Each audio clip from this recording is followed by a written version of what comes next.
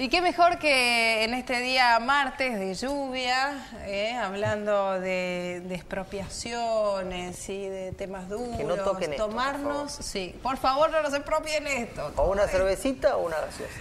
Bueno, ¿qué despliegue tenemos acá?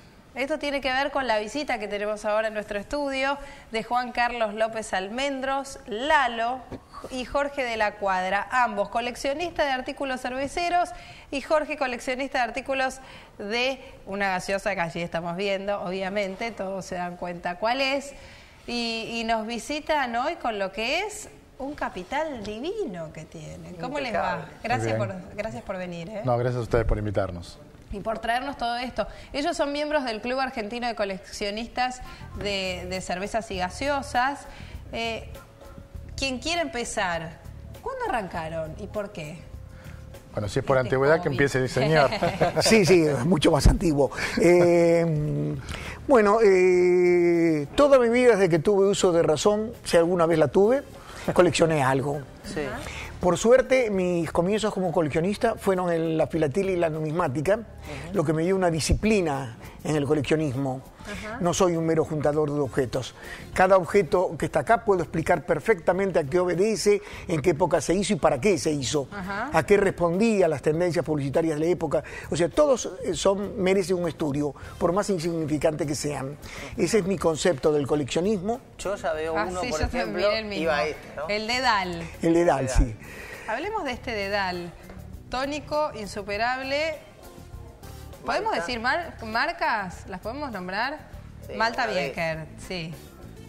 Divino el dedal. ¿De cuándo, ¿Desde cuándo lo tiene? Hace muchísimos años, hace 40 años que colecciono objetos cerveceros Este es bueno, bueno.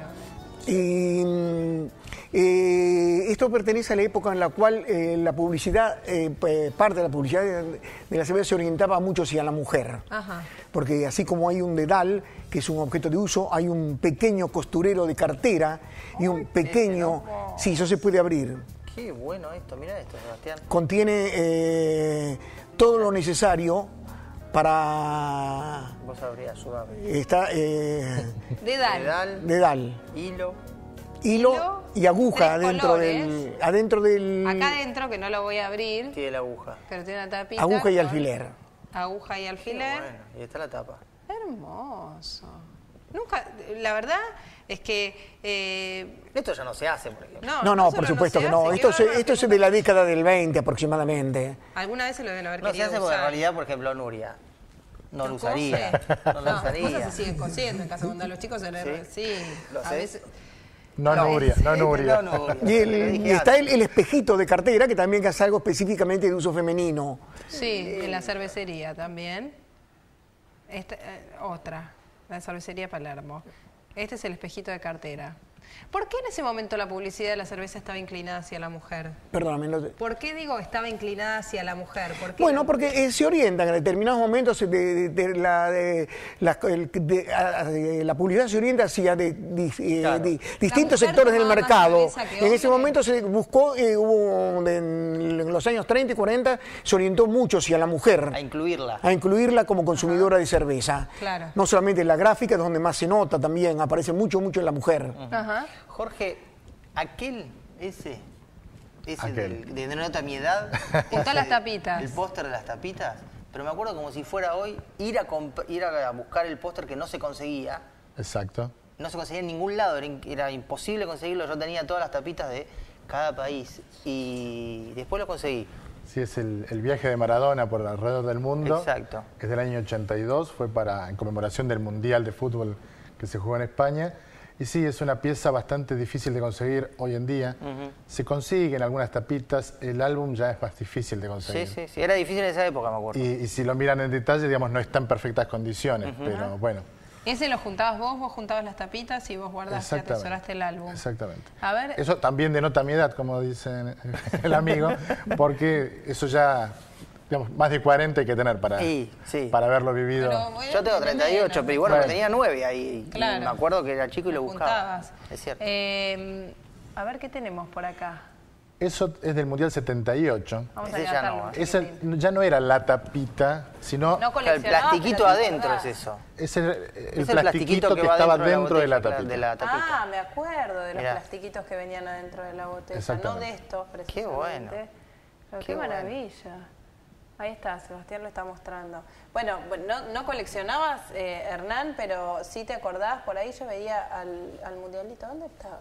¿Dónde lo vi antes cuando estaban desarmando el muñequito? No, lo que, de- lo que habrás El visto naranjito. es la botella del Ah, Mundial pasó por 78. allá. La botella del mundial Ella está 78. buscando, Gloria está buscando qué, porque vio algo que le gustó. Esta botella, que no es la tradicional botella de esta gaseosa, Sí. es una réplica de las primeras. Yo vi el, el- el personaje del mundial 78 Sí, en en algún ese lado. mismo ¿Dónde lo álbum si lo cerrás. Ah, Ah, por eso, yo- acá, El gauchito. claro, claro. ¿quién no se acuerda? Uy. Yo te voy a decir algo, eh, bueno, una época eh, muy difícil para, para la Argentina, en ese momento no se sabía tanto, ¿no? Claro, obvio, obvio. eh, eh, el mundial, el ruido del mundial era muy fuerte, pero yo me acuerdo mucho del personaje de- del mundial 78. Ajá. Eh, tenía dos años, ¿eh? No me mires con cara de... Pero me acuerdo mucho. Una particularidad que tiene Sí, este no programa es que yo solo cumplo años. Juro. Claro. Tenía dos años. Es una particularidad que tiene este programa. No, El único mentira, es verdad, te puedo mostrar Pero el bueno. soy del 76. bueno, mostranos más, la botellita. Bueno, acá hay, Esa botellita acá tiene hay- un valor. trajimos algunas botellitas algo emblemáticas. Esa, Esa es impecable. Te- Decimos esa porque la estamos viendo en pantalla ya. Esta, Esa bueno, es una esta cosa es divina. la botella conmemorativa del casamiento de Lady Di. Ajá. Ah, extraída del Reino Unido. Se puede apreciar la fecha si la miramos en detalle. 29 de julio de 1981. Ajá. Salió a la venta ya en Gran Bretaña y bueno, la pudimos conseguir para traerla. Solamente con motivo del, del casamiento. solamente con motivo del casamiento. Y las otras, contanos. Bueno, después la que está dentro de esta caja es una botella diseñada por Martiniano Arce, Ajá, qué linda Uy, que es. el llamado filetador de Buenos Aires. La preparó en el año 2001 en función de otra que había- él ya había diseñado, pero en fibra de vidrio y de dos metros de altura, que le pidió la empresa para exhibirla junto con otras 52 de distintos países en Atlanta en conmemoración de los Juegos Olímpicos que se, se jugaron ese año, que eran los Juegos Olímpicos del Centenario. Esa botella de dos metros hoy está en el Museo de Atlanta y en el 2001 se hizo esta botella conmemorativa para regalársela a los principales clientes de la empresa. O sea, esta botella no salió a la venta y es la primera que viene recubierta con un termosellado. Ah, mira. Mira vos. Lalo, esto es. este Este es un jarro que en el año 1903 la cervecería Quilmes utilizó para regalar ah, como regalo empresario. Estaban hechos en Alemania, en la ciudad de Metlach, por la firma Villeroy Bosch, que aún Acá está el escudo. existe. Se llama jarro argentino precisamente por el diseño. Fue diseñado por la familia Bember. Tiene características muy particulares y es un pitcher eh, internacionalmente conocido. Es una de las piezas importantes del coleccionismo mundi- a nivel mundial por el diseño. El jarro tiene una, en este- esta reserva, una, mm, son eh, flores de lúpulo, abajo las espigas de la cebada Ajá. y en la reserva tiene eh, la vista de la fábrica. Ajá. Se hicieron en tres oportunidades, en 1903, en 1905 y en 1929. Eh, la de 1929 es la, más en la que se difiere más la imagen de la fábrica, pues ya aparecen vehículos en el frente. Ajá. En estas no, en estas solamente el tren que pasa por delante de la fábrica. ¿Y se vendía? ¿Cómo? ¿Se vendía? No, esta se, eh, era Se un obsequio empresario. Tiene en el borde de la, en el borde de la tapa, tiene precisamente su destinatario. Obsequio de la cervecería El obsequio de la argentina. cervecería Quilmes Sí. y acá tiene el destinatario. Yo no llego a leerlo. A ver. Dice bombero voluntario Bombero de voluntario de Avellaneda. Creo, ¿no? Sí, sí. Sí, sí. Qué ¿Y cómo? A ver, yo les pregunto, lo que se pueda contar lo cuenta, lo que no se puede contar no lo cuenta. ¿Cómo se hacen de estas cosas? Bueno, Esto se este compra, jarro- se vende. Sí, sí, se compra y se vende en las casas de antigüedades, sobre todo en San Telmo. y ese jarro eh, los he tenido que comprar allá, son tres distintos. Yo tengo cuatro porque en el año 31 se repitió el del año 29, pero con una ligera, es medio centímetro más alto y un centímetro mayor de circunferencia, tiene nada más. Pero lo tengo como una diferencia. Eh, es muy difícil comprarlo fuera de las casas de claro. antigüedades. Claro. Claro. A ver, yo le digo a Lalo y, y también a, a Juan, le digo a Jorge. Ustedes saben que esto vale mucha plata igual, además. Sí. Y no, le no les ofrece, viene uno y le dice, te lo compro. ¿Vos No se vende porque tiene un valor más ¿Venderías sentimental. a tu hijo? No. Exactamente, a eso iba. Es decir, hay piezas que pueden ser insignificantes en valor o extraordinariamente caras y yo no tengo ganas de desprenderme de ellas. Ajá. Si alguna vez consigo una pieza repetida es porque ya estoy pensando a quién se la voy a canjear. Ajá, o Sí, cambiar. Vender quizás no, pero Sí, sí. canjearla ¿Y por, por otra. qué? Claro. Contanos que- eh, la botellita de, de la gaseosa, por no decir otra vez, la rayada, que es como una botellita de mujer, la rayada con rosa. La rayadita es, eh, junto con la otra que está ahí al lado, son botellas de aluminio. Ajá. ¿sí? Digamos que es la nueva generación de botellas que están, son muy populares hoy por hoy, tanto en Asia como en Europa. Acá en América Latina, solamente Brasil y México están teniendo este tipo de botellas. ¿En Europa las conseguís así? Sí. Hace rato que En, no todo- voy, che. en todos los kioscos se consiguen. Son mucho más fáciles para hacer distintos di- diseños, etcétera. Y acá, bueno, traje una de Brasil conmemorativa del Mundial de Sudáfrica 2010 y la rayadita está diseñada por una diseñadora de moda francesa, Nathalie Riquiel.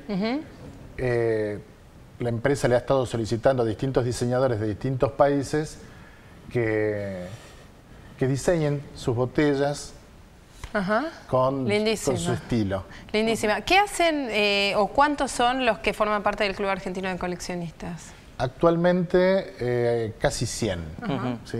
No es 99, casi No 100. es Casi cachiquien, 100. es casi Se cachiquien. reúnen, se ven. Eh, nos juntamos, tenemos, entre ustedes. tenemos varias actividades durante todo el año. Hacemos encuentros en microcervecerías o en distintos eventos, Y lugares. se chapean un poco, mira lo que traje, eh, mira la que Sí, tengo seguro, yo. Sí. Pero también tiene un poquito más de Hizo envergadura. cara, Lalo hizo cara como que sabe lo que es. Es Lo terrible. primero, lo primero que hacemos cuando conseguimos una pieza es querer mostrarla, Claro. sobre todo cuando se trata de piezas inéditas. Sí, sí, claro. Porque pese a que se pueden haber hecho miles de cada una, hay piezas que recién se conocen ahora y... Claro, y muchas no veces de casualidad también es. Muchas veces de casualidad. Hay- Mucha- muchas hay- veces te enterás de casualidad. Hay, eh, ya nos tenemos que Nos ir. tenemos hay, que ir, sí. hay un lugar específico en casa en donde se guarda todo esto? ¿Cuánto lugar físico? Porque, ¿no? Lo que te deben pelear a vos, ¿no? Claro, porque yo imagino. hay dos decir, grandes problemas. Pero sacame todo. Por favor, otra es- vez con esa latita. Igual cuando es algo que ya los conocen así. No, bueno, No, Mirá pero la- hay dos grandes problemas que tenemos todos los coleccionistas. Uno es el lugar y el otro es el presupuesto. Claro. Entonces hay veces que no se confiesa lo que se gasta. No, mucho menos de lo que crees. Mucho menos. de Me lo regalaron. Claro, ¿coleccionó? Qué pichincha que hice. Nada, nada. Yo No, coleccionaba figuritas. servilletas de papel. Todavía las debo tener en la de mi mamá. Sí, de verdad. la semana que viene la traigo. Todas distintas, sí, todas distintas. Bueno, Lalo, Bueno, Jorge. me encantó verlos. eh, Buenísimo. y, Muchas gracias. Y lo que conservan. Gracias por haber venido. Gracias por No, haber venido. Impecable y- bueno, Por traernos parte de su riqueza. Y los esperamos eh, en ¿Dónde? www.cervezaygaseosas.com.ar y pueden participar de todas las actividades que tenemos, incluso convenciones internacionales, etc. Ajá. www.cerveza y gaseosa, ahí lo estamos viendo en el graph. Sea de la marca com que ar. sea, ¿no? Sí, cerveza y gaseosas. No discriminamos. Gracias, Muchas gracias. por No, haber gracias a ustedes por la invitación. Muchas gracias. Nosotros nos vamos, Sí, así nos cerramos vamos. el programa de la mañana de hoy. Nos vamos a estar encontrando mañana, miércoles, si Dios quiere, a las 8 de la mañana. Prenda, prenda ¿Eh? que estamos. Que tenga un buen martes y gánele.